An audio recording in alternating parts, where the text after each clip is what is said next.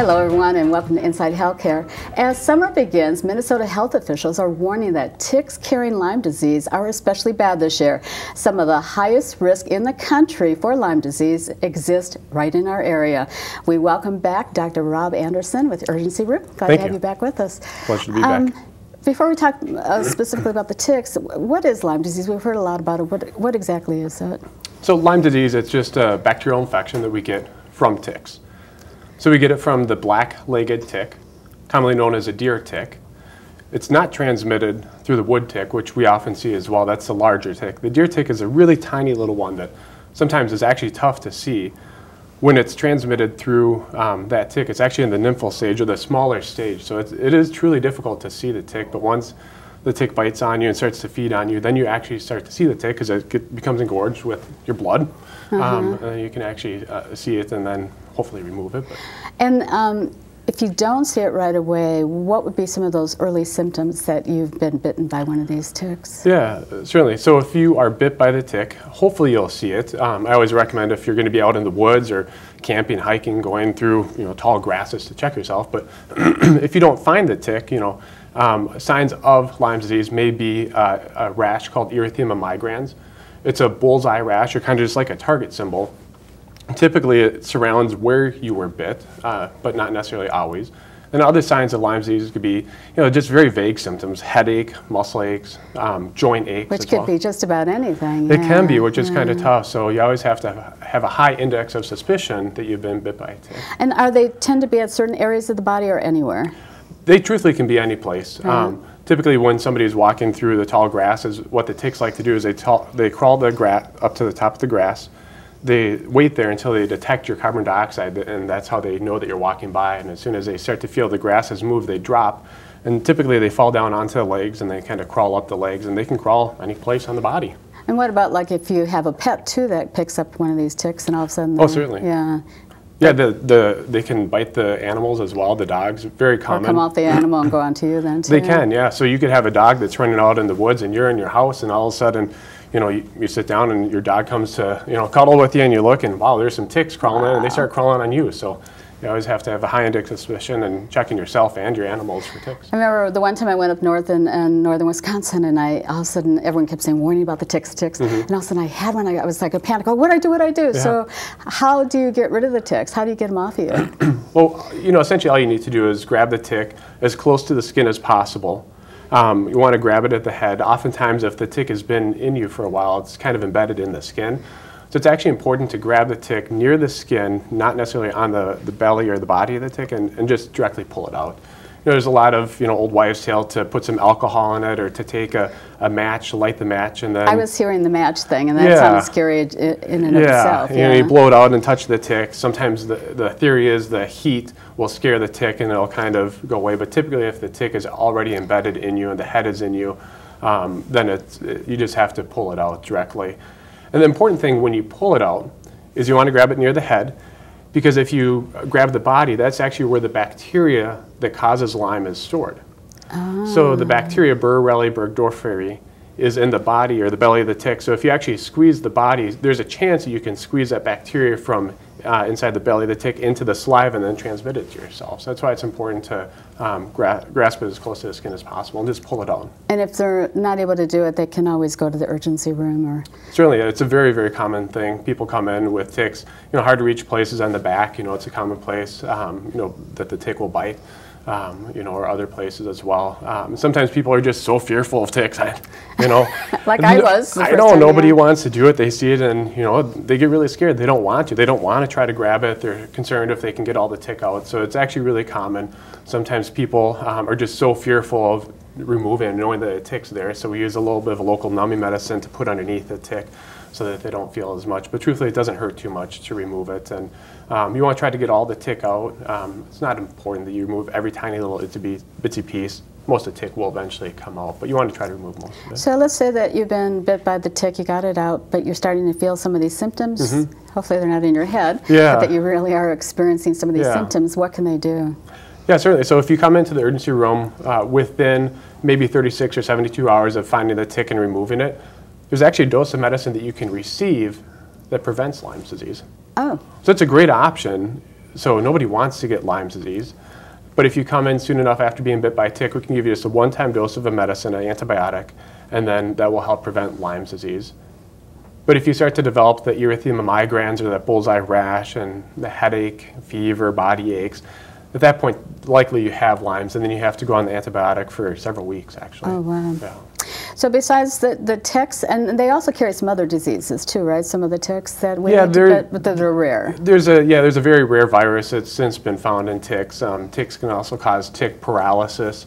Um, you know, these are very, very rare things um, that are uncommonly seen. What about the, there's a spider, a northern something spider? Yeah, the northern black widow, black widow. spider, yeah. yeah. Is that something we should be concerned about? Yeah, so I guess it is in Minnesota. Um, you know, there's about 30 different species of black widow spiders throughout the world, and this is the only one that can survive our cold winters, and it's, um, it's a you know, it's a spider that doesn't want to be found.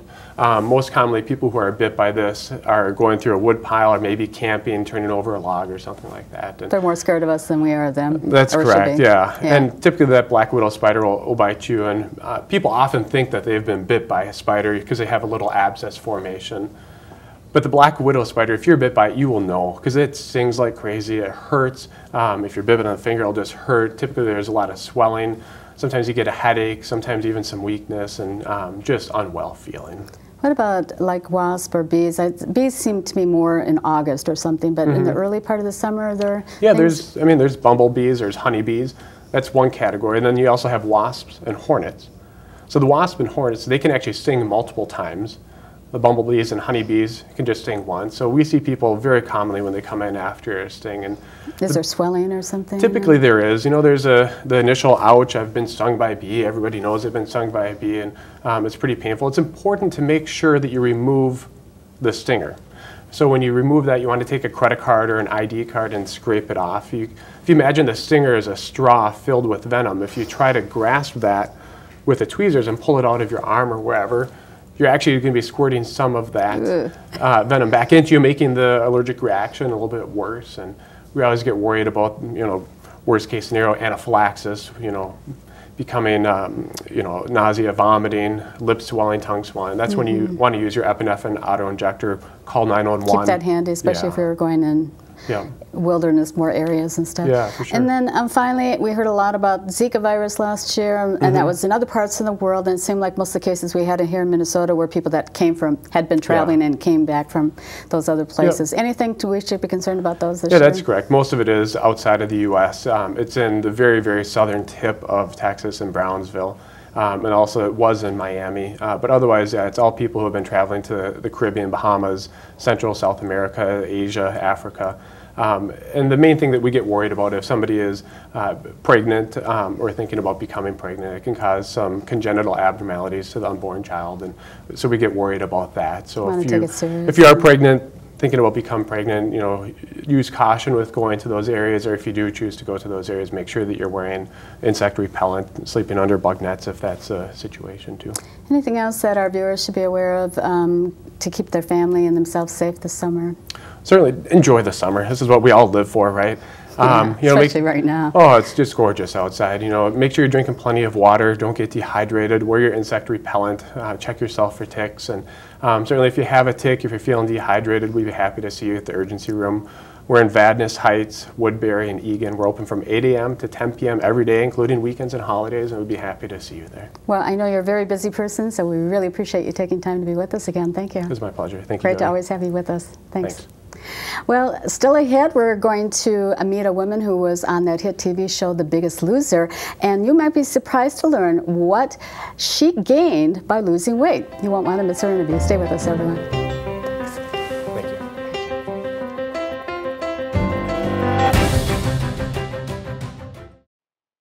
You look incredible. Did you go tanning? Yeah, check it out. Jealous. Best spring break ever. No. You're getting so tan. Finals are the worst. I'm so glad they're over. We need some sun. I can't believe our friends are getting married. She looks amazing. Where's your tan? I can't go tanning anymore. Doctor's orders.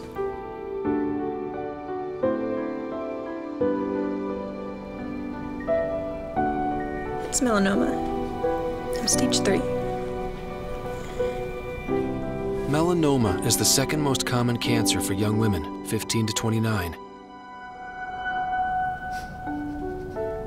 Protect yourself. Protect your friends. Stop tanning. Learn more at spotskincancer.org. A message from the American Academy of Dermatology.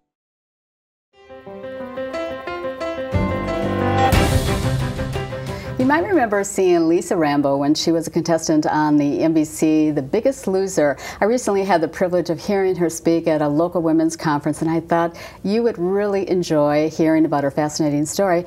So we're very pleased to have with us Lisa. So thank you for being with us. Thank you for having me. I love to share my story. And I was just saying how, I mean, your message is really about what you gained when you were losing weight. You know, Yeah. it's so important. Yeah, I think I think the everybody thinks about you go on the Biggest Loser to lose a ton of weight, but I tell people all the time the magic about Biggest Loser isn't that we all went on a game show to lose a bunch of weight. Is we went on a game show and we learned that we were far more capable of more than we ever thought possible.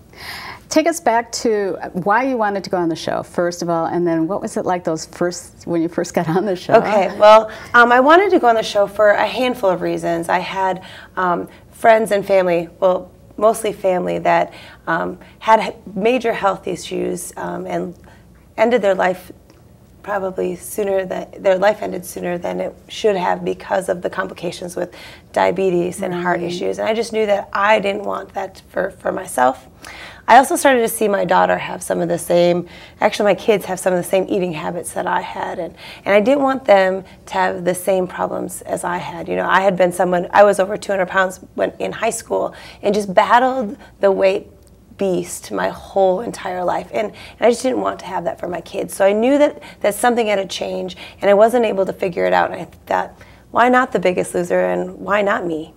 Well, and they only have a handful of people every year, so or every season or episode. So how did you get on, and what was it like? So the, the, the casting process is, is long and it's uh, difficult. And I actually try. I actually actually auditioned uh, three times before I actually Wow, made you the were show. So I knew that this was going to be um, the answer. Um, but I went through three times. Season 14 was third time is a charm. Uh, I, I got my key to the ranch, and there was 15 of us and out of this huge number of people who, who want to be on the show. So I know that my opportunity to be on The Biggest Loser was a blessing. Um, now I was a Biggest Loser super fan before I got on the show, so I had a lot of preconceived ideas on how what it was going to be like when I got there. Um, I thought there was going to be some sort of orientation process. They were going to show us all the everything, but that is not how it went at all. Like we got out of the vans and they're like, okay, we need the guys over here and the girls over here, and they started putting a, a, a, our wardrobe, and we came out and they started mic packs. They're like, okay, here we go. There's some people up here that want to meet you. We were like in the Biggest Loser gym within like half an hour of being on the ranch. It was crazy. and it sounds like a nightmare too. It was. you know when I got my key to the ranch, it felt like the, the, the like all of my dreams were coming you won the true. lottery almost? Yes. Yeah. And then I got there, and we're, we're we I got on uh, Dolvett's team, and then we walk into the gym, and they're like, "All right, let's go." I'm like, like now. Like we, like, I don't like. I had never been in a gym before, ever before that first minute uh, moments on the ranch. So I didn't know how any of the equipment worked. I'm like, this is not going to be good at all. did you start thinking, what did I get myself into? I did. Well, Dolvett was my coach. Um, I had been having night terrors that Jillian Michaels was going to be my coach, and I was like, I don't know if I can do that. Well, in those first moments, we were the first cast that had the high school students, so Dolvett took them out, and he's like, All right, Jillian, I need you to take my team. And now I felt like my biggest nightmare was going to come true because Jillian Michaels was going to train me on camera. I had no idea what to expect. She's like, All right, red team and white team, up on the treadmills, and we got up on the treadmills, and she's like, I need you at a 3.4. I need you at, and people started falling off the treadmills and I was like, "Oh my gosh, Lisa, just don't fall off the treadmills. This is crazy." And the, and people were falling off and, and people were trying to quit and Jillian Michaels was getting mad. At one point I look across the way and Bob's got his team over there and they're throwing these medicine balls and people are throwing up. Within 10 minutes in the gym there is crying and bleeding and throwing up and people quitting and Jillian Michaels is losing it and all of a sudden there she is in front of my treadmill right? And she's like, all right, red team, let's show them what you got. She goes, I need you to up your speed. incline three. And I look over to Joe, who's two treadmills down, and I'm like, this thing inclines? I didn't even know the treadmill inclined, right?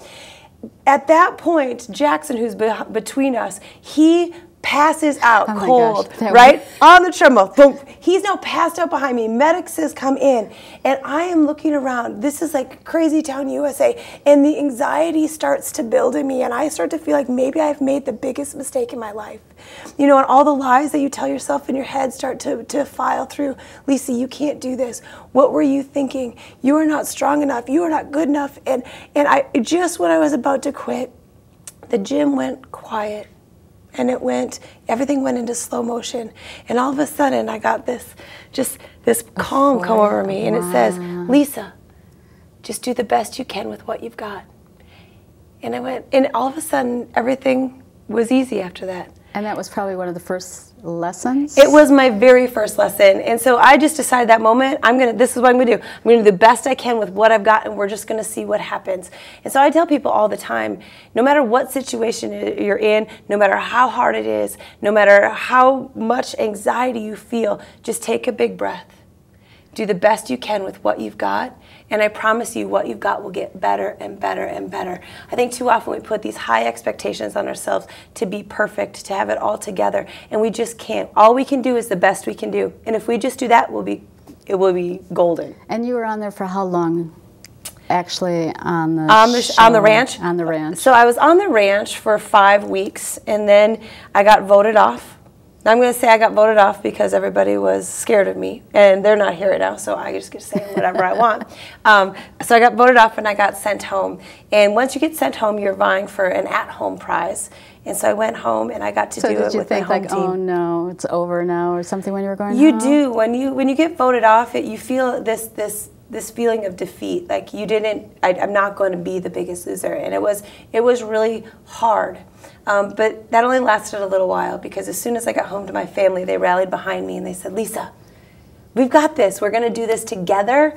And mom, we're in it with you. And it was the best thing ever. You know, what, what felt like um, a big disappointment ended up being my biggest win because I came home week five. I lost 20% of my weight on the ranch and 80% of it at home with my family, and it changed us all. This was the first time it wasn't mom on a diet, but my family eating right and healthy.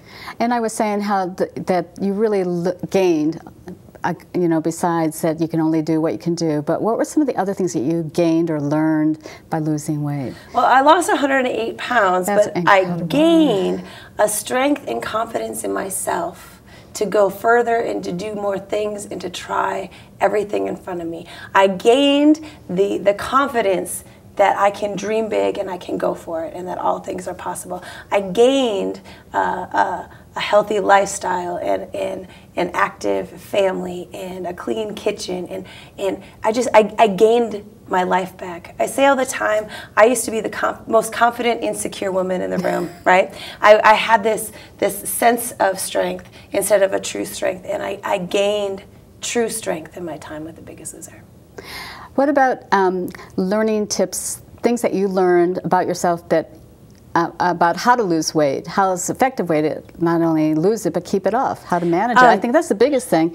It's, they say it's easy to lose. I don't know about that, but you know, like keeping it off is I will the say main thing. for sure is I think losing weight is the easy part. Maintaining your weight loss is the hard part, um, which is something I still battle with and something I still struggle with. It's it's it's a, I tell everybody it's a journey. It's not a quick fix. So you have to give yourself um, grace and discipline and keep keep at it. Um, but really, I have found that some of the key things for for losing and for maintaining is one, get yourself into a network of people who, who get yourself your find your tribe. So I don't know if that's at a gym or or you're collecting a group of I have a walking group that we walk all the time. for sure. I, week, I think accountability is key. Yeah, because it's like so many mornings. I don't want to walk today, but it's like I know they're waiting for me, so I need to go out and do that. Right, you never want to get out. And then I say another thing is is is guard your kitchen. If if your kitchen is is full of real whole food, um, you're going to eat real whole food. Uh, everyone, like we don't have chips and we don't have cakes and we don't have ice cream at our house.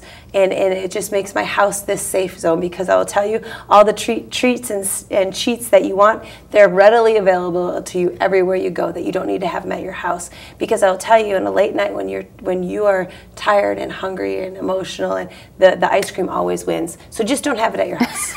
don't have it at your house. And I bet that treats are probably have a different meaning for you now. Before it was probably related only to food, and now it's not. Um, well, treats. What's what's awesome is that treats have become treats again in our house.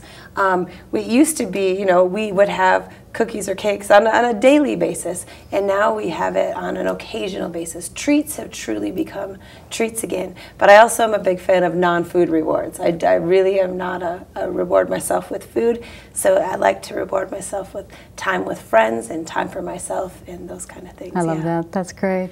So after you lost all this weight at home, you go back for the finale, and Finale is the great. If you've never watched The Biggest Loser, you got to tune in to a finale episode. Um, so the whole the whole process of going out to finale was awesome. I remember going finale dress shopping with my mom and all of my cousins and sisters. It was funner than shopping for my wedding dress. Um, I got to finale. I, I pull out this pale pink dress that I picked out that was perfect, and wardrobe was like, "That's nice, but that's not what you're wearing." And they put me in this red dress that I, I never would have picked out for myself in these silver strappy shoes. And I remember the night before, um, standing with wardrobe and, and I'm in this the, the room and I'm looking at myself in the mirror and I'm just standing there and I'm like, girl, who are you? You're the you're the girl who never finishes anything and look at you. You did it. You did it and, and you didn't compromise your, your meal plan or your workout plan. You didn't compromise anything and look at you finished. And and in that moment I knew that I had won. I knew that it did not matter how the, the scales played out the next day. I knew that that I could finish what I started. I could I could go through and make anything happen. It was it was incredible. I tell people all the time, there's power in finishing. Um, finish what you start, because I, I really I was someone who never finished anything. and I bet coming back too was just seeing everybody. Yeah. You know how people had transformed and changed as well. Now, all yes, when we all come back to finale, we all get to now see everybody's at-home work. Um, and I left week five, so I hadn't seen anybody like since the very beginning. And we all come back, and And you tape this months in advance before it's actually so on there's TV, there's three months um, where everybody's on the ranch, and then there's a three month gap where everybody's at home. So I probably hadn't seen anybody in five months, six five months, yeah. Wow. And it was it was it was remarkable. You know, you you were like. Oh my gosh! Look at you! Like, who are you? And, but the, the the fun thing is, is to watch how everybody transformed from the inside out. How to watch how everybody walked a little differently and held the shoulders back and head held high and, and had this confidence that that was un, unmistakable. Like you just knew that that they there was pride. Mm-hmm. Yeah. And people just look so healthy. Healthy. It's hard to like. You know, it's so intangible, but I mean, obviously you can have real health benefits, but when you see someone who's so healthy, it, it just radiates It's, like a- you. it's amazing what real whole food will do for you. It's amazing what a lot of water will do for you. Um, but yeah, when you're when you're healthy and you feel good, it, it just it it, it it it it shines from the inside out. Yeah. So this was a few years ago, and since then, you're, you know, it's really transformed your whole life. You've changed totally. You said. Uh, it really biggest loser changed the trajectory of, of my entire life um, i've switched careers i've, I've changed my kitchen um, my whole family is happier and healthier um, I, I, I, I like to share uh, my, my family's before and after pictures because i didn't put my kids on a diet but but going to real whole food you could totally see how it transformed all of us i lost weight my husband lost weight um, but really it just I keep telling my, my goal in life is to just remain happy and healthy. and strong. And, and my goal now is to help other people to be happy, healthy, and strong. So I've, I've, I've now not working at the school anymore, which was a hard decision, but now I am a weight loss coach down at Riverfront Athletic Hub, and I walk other people through hundreds of pounds of weight loss, Oh, which is super awesome. And then I get to be a motivational speaker and I get to travel around the country and inspire people to dream big and go for it because why not you?